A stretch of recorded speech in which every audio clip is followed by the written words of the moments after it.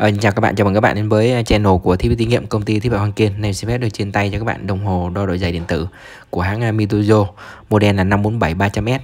Thì cái sản phẩm này thuộc dạng là thước đo độ dày của hãng Mitujo là một sản phẩm chất lượng cao được sử dụng để kiểm tra à, các cái lớp không phá hủy, đo vật liệu à, từ một bên và đo một cách chính xác và nhanh chóng nhất, ứng dụng cho các ngành công nghiệp, xây dựng, sản xuất cơ khí, phụ trợ và đo đạc các cái thông số kỹ thuật của các cái thiết bị, vật liệu hay là máy móc trong các nhà máy của chúng ta. Về phạm vi đo thì sản phẩm có thể đo từ 0 đến 10 mm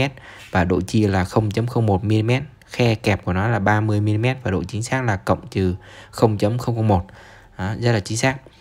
Thì uh, 10 mm thì cái đồng hồ đo độ dày Mizuzo 547 300S này ra đời từ năm 1934 tại Tokyo và thành lập uh, tại uh, Mizuzo Mỹ vào năm 1963. Sản phẩm thì uh, có nhiều ưu điểm vượt trội song song với thành lập À, để chúng ta có thể kiểm tra và là sự lựa chọn tin cậy của các nhà máy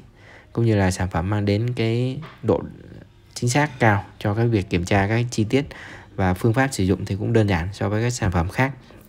Thì đồng hồ đo dày điện tử có khả năng hoạt động chính xác này kiểu dáng thì thiết kế vừa cầm vừa tay và tạo sự, sự thoải mái khi sử dụng.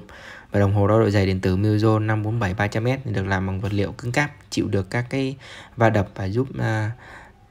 có cái độ bền lâu và chống mài mòn trong cái thời gian sử dụng. Đầu đo được phủ lớp à, chống mài mòn, tay cầm thì thiết kế thông minh, dễ dàng cầm chắc chắn. Mỗi khi chúng ta muốn đo cái bề mặt của độ nhám nào đó hoặc đảm bảo không bị sai lệch trong quá trình đo và sản phẩm được phân phối bởi công ty Khang Kiên.